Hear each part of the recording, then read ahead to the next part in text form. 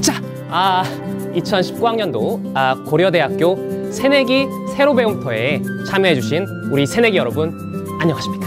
아 저는 크리에이터 민우입니다. 자, 아, 첫 번째로 첫 만남. 아, 솔직히 말해, 첫날은 뭐겠습니까? 어색하다란 얘기야. 그런데 이 어색함은 세터가 넘어가면서 말끔하게 사라질 거야.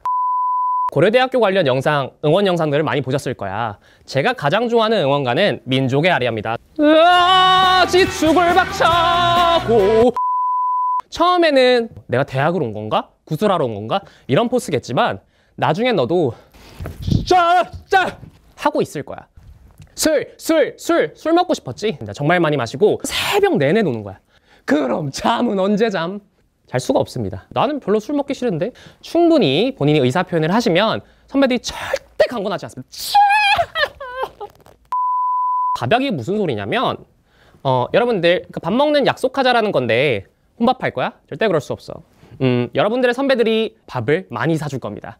저 무슨 학번 김민우인데요. 어, 나중에 정대 후문에서 자, 이런 선배는 있지 않아. 그러니까 적극적으로 밥약을 신청하길 바랍니다. 자, 간단하게 아, 제 경험을 살려서 세터에 관한 정보들을 전달드렸습니다. 다음 영상 코TV 고정합니다!